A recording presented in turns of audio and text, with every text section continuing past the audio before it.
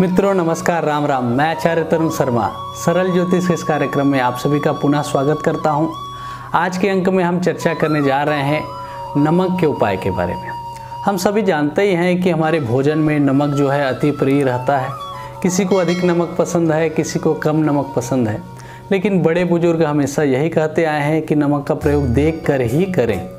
कई घर में बोला जाता है कि नमक पानी से पोछा लगाएँ। कभी कभी हमको सुनने में ये मिलता है कि इस स्थान पर नमक मिला हुआ पात्र रख दें तो हम लोग वैसा करते हैं। और इसके प्रभाव भी बहुत ही अचूक मिलते हैं। लेकिन अगर हम कुछ गलतियों को ना करें, तब की बात है। अगर हम अपने दैनिक जीवन में इसका प्रयोग सही रूप में अगर हम करते हैं तो उसका हमको प्रभाव विशेष मिलता है।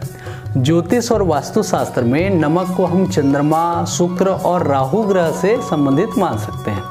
अगर हम चंद्रमा और शुक्र का रंग को देखें तो वो नमक के सफ़ेद रंग से जुड़ता है। साथ ही बोलते हैं कि नमक क्योंकि हमको कर्जा भी देता है, नमक घर में फैलना नहीं चाहिए। तो आइए हम इसी पर चर्चा करते हैं कि क्या क्या सावधानी रखें और हमारे जीवन में क्या क्या ऐसी समस्याएँ हैं जिनको नमक के उपाय के द्वारा हम दूर कर सकते हैं। आइए उन्हीं उपाय पर हम चर्चा करते हैं। मित्रों, सबसे पहले हम चर्चा करेंगे कि घर की तरक्की। अगर हम घर पे रहते हैं किराए के मकान में या स्वयं के घर में तो हमको हमेशा तरक्की चाहिए, क्योंकि महँगाई बढ़ रही है। और ऐसे में हमारे घर में धन का आवक बढ़ना चाहिए, और साथ ही घर के सभी सदस्यों के मध्य सामंजस्य रहना चाहिए। इसके लिए सबसे पहला उपाय यह है कि गुरुवार के दिन छोड़कर अन्य वार में आप चाहे तो रविवार के दिन भी बहुत लोग प्रयोग नहीं करते हैं तो गुरुवार, रविवार को अगर छोड़ दें तो बाकी दिन आप जब भी घर में पोछा लगाएँ, उसमें थोड़ा सा नमक डाल दें।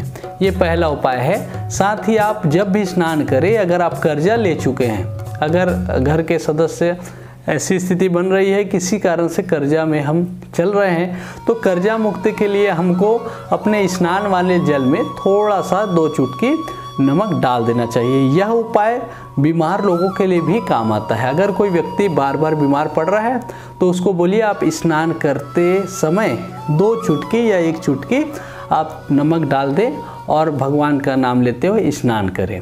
साथ ही बोले, अगर घर के किसी बड़े बुज़ुर्ग की तबीयत बार बार बिगड़ रही है, बच्चों की तबीयत बार बार बिगड़ रही है तो हमको यहाँ पे ये देखना ज़रूरी है कि उनका सिरहाना किस ओर है। उनका सिरहाना जो है, यानी सिर की जो दिशा है, वो पूर्व की ओर कर लेवे। और सिर के जस्ट पीछे वाले भाग में एक कांच का बर्तन लेना है। देखिए, कांच का बर्तन इसलिए भी आवश्यक है क्योंकि बोलते हैं कि नमक का विशेष फल अगर चाहिए तो कांच के बर्तन में रखने से मिलता है। तो आप जो बीमार है या जो थोड़ा सा अस्वस्थ फील कर रहा है, अस्वस्थ जिसको लग रहा है कि मेरी तबीयत उतनी अच्छी नहीं है, बच्चे बार बार बीमार पड़ रहे हैं तो आप बच्चों का मुख जो है, सिर जो है, बिस्तर का जो दिशा है उसको आप पूर्व दिशा की ओर कर ले और सिरहाने के जस्ट पीछे में चार लौंग डाल करके एक कांच के बर्तन में नमक डाल दे, उसमें चार लौंग डाल दे और रख दे। ऐसा आप करें। इससे आप देखेंगे कि हर हफ़्ते हर हफ़्ते दस दिन में उस नमक को बदलते जाए और हर हफ़्ते, हर सप्ताह आपके बच्चों का या आपके परिवार के सदस्य का तबीयत जो है, स्वास्थ्य जो है, वो लाभ अवश्य मिलेगा। एक उपाय यह भी है कि अगर घर के किसी सदस्य को नौकरी में जैसे उसको प्रमोशन चाहिए या नौकरी नहीं मिल पा रही है, अस्थिरता है तो उनको, उनके लिए एक बहुत अच्छा उपाय बता रहा हूँ। इस उपाय से उनको अवश्य लाभ मिलेगा। पहला तो उनको ये बोलिए कि आप मुट्ठी में एक मुट्ठी पूरा भर करके नमक ले लें, सफ़ेद नमक ले लें और अच्छी बात है। और उसको अपने ऊपर से तीन बार उतार लेवे। तीन बार ऐसे उसार लेना है और उसारने के बाद आपको अगर कोई मंत्र याद ना हो तो ओम नमो भगवते वासुदेवाय। यह मंत्र का करना है और इसको बहते जल में डालना है। अगर आप शहर में रहते हैं, बहते जल ढूंढना मुश्किल है, नदी ढूंढना मुश्किल है तो आप घर में फ्लश पहले चला दे, जल बहता रहे फ्लश में डाल दे। अन्य किसी स्थान पे न छोड़े।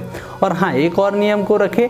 अगर आपके घर में कोई ऐसी समस्या है जो बार बार आ रही है बार बार किसी की तबीयत खराब हो रहा है बार बार एक्सीडेंट हो रहा है, या बार बार हमारे बिज़नेस में घाटा हो रहा है तो हमको यहाँ पे एक नियम को करना ज़रूरी है कि किसी के भी हाथ में कभी नमक न देवे, नमक का डिब्बा कभी ना खोल करके रखें। और विशेष रूप से आपको एक और चीज़ है कि आप नमक जो है वो कभी भी आप ऐसे ना लेवे या किसी के हाथ में ना देवे। उसको किसी पात्र में या किसी विशेष रूप से झोले में उसमें करके ही लावे। रात के समय कभी नमक नहीं खरीदना चाहिए, यह भी एक उपाय है। गुरुवार के दिन भी नमक नहीं खरीदना चाहिए, ना ही लेना चाहिए। तो ये चीज़ जो है, किसी को देना भी नहीं चाहिए। तो ये उपाय को आप करेंगे तो आपको विशेष लाभ मिलेगा। कुछ सलाह मैं देना चाहूँगा।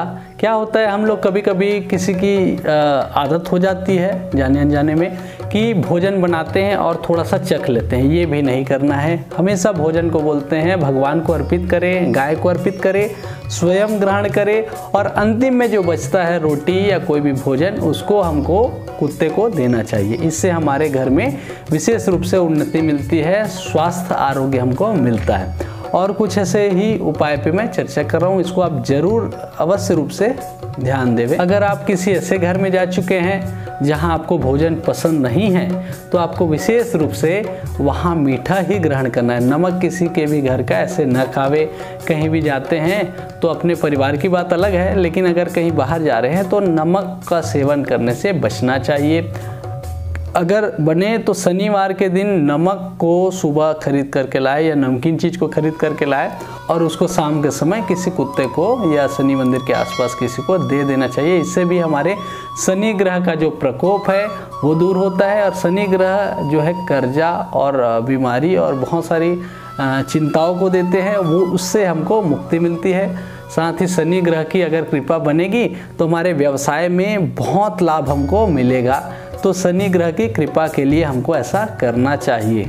अगर हमारे घर में कोई वास्तु दोष के कारण काम नहीं बन रहा है तो हमको हमारे घर के टॉयलेट या बाथरूम में एक कांच के कटोरी या गिलास में नमक डाल लेना है, खड़ा नमक जो है उसको डाल लेना है और उसको डाल करके रख देना है कोने पे और हर हफ़्ते दस दिन में उसको बदले। इससे हमारे घर के जितने वास्तु दोष हैं, जितनी नेगेटिविटी है वो सभी दूर होता है, लेकिन ध्यान रखें, नमक को कभी भी ऐसे नहीं फेंकना चाहिए, उसको बहते जल में ही करना चाहिए, कुछ ना मिले तो फ्लश कर देना चाहिए, बोलते हैं, अपने वाश बेसिन के जल को चला दे, और उसी समय नल को जलाने के बाद ही उसमें नमक डाल दें तो बहते जल में वो चले जाता है, ये एक उपाय है। मित्रों, आप लोगों ने देखा कि नमक के कुछ कुछ छोटे उपाय हैं, लेकिन ये छोटे लग रहे हैं आपको, पर बहुत ही असरकारी उपाय है। इन उपाय को एक बार अवश्य करके देखें, इससे बहुत लाभ मिलता है। हमारे बड़े बुज़ुर्गों ने इन उपायों को सदा ही किया है और लाभ लिया है। आप भी ऐसा ही लाभ लेवे। आज के वीडियो में मैं इतनी ही बात करना चाहूँगा कि नमक को कभी फेंकना या फैलाना नहीं चाहिए।